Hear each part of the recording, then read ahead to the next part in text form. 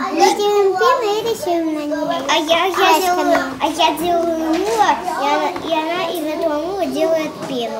Они и Ева подружились в Монтессори-центре «Жемчужинки». Они привели в центр еще девятимесячной малышкой, пришли в группу с мамой.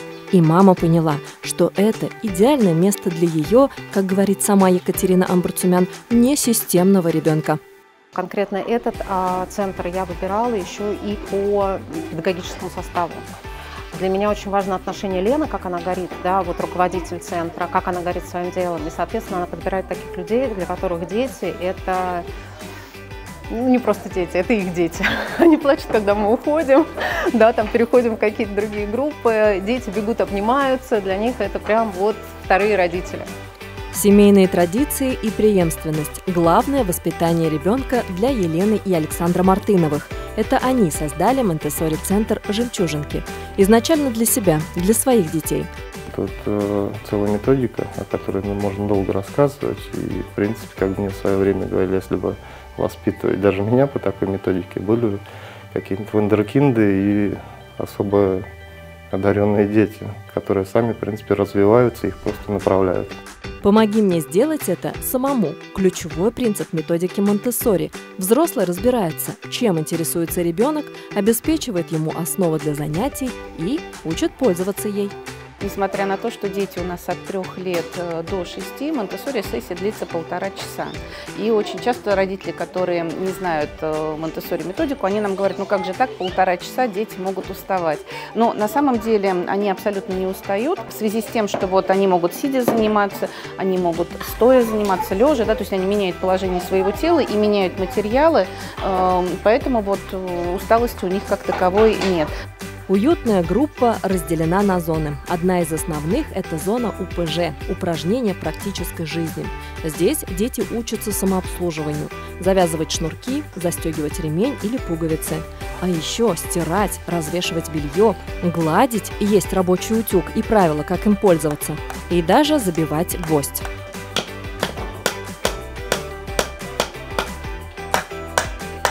В зоне сенсорного восприятия находятся материалы, которые помогают понять, как отличаются предметы по размеру.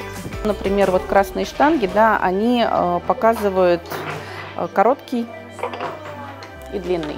И ребенок э, правильным образом учится носить этот материал. Что такое разряды чисел, дети узнают в зоне математики. Специальный материал помогает наглядно объяснить сложную для ребенка тему. Вот это тысяча очень наглядно.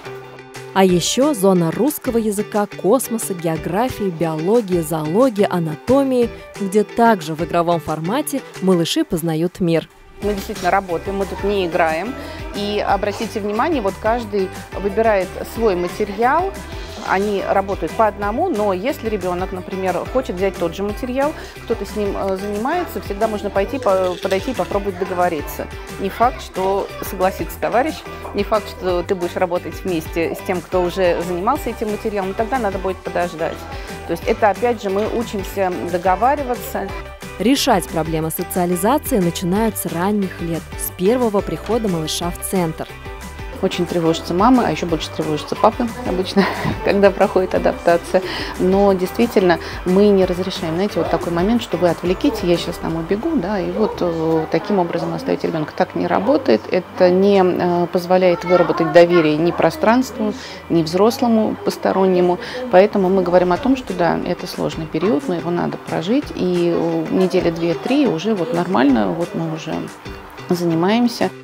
У центра три лицензированных филиала. Отдельный для самых маленьких, где малыши до трех с половиной лет приходят в группу с мамой. Базовый, где занимаются дети от 3 до 6 лет. И альтернативная школа «Жемчуг». В школе такие же принципы обучения, как и в саду для каждого нашего ученика мы разрабатываем индивидуальный план развития. То есть в чем-то, например, у него есть сильные стороны, там, в математике, допустим, а в русском языке ему нужно немножко помочь. Поэтому мы стараемся обращать внимание на сильные стороны, но и не забывать про, там, про какие-то слабые и помогать ему в этом, но больше развивать его сильные стороны. От маленьких достижений к большим воспитанники Монтессори центра «Жемчужинки» идут вместе, помогая друг другу. Тому способствует и разновозрастность детей основной группы.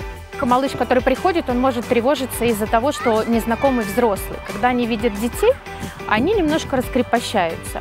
И мы старших ребят просим всегда нам помогать, и взаимоотношения складываются очень хорошо всегда. Для основателей центра семейное дело стало образом жизни и даже миссией.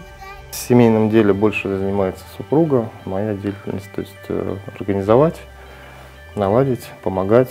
Наши дети, они свободные. И для нас очень важно, чтобы вот эта свобода, она сохранялась. Проведя день со свободными и общительными детьми центра «Жемчужинки», можем сказать Основная философия педагогической системы Монтессори лежит в том, что каждый ребенок рождается со своим потенциалом и зависит от среды, в которой растет.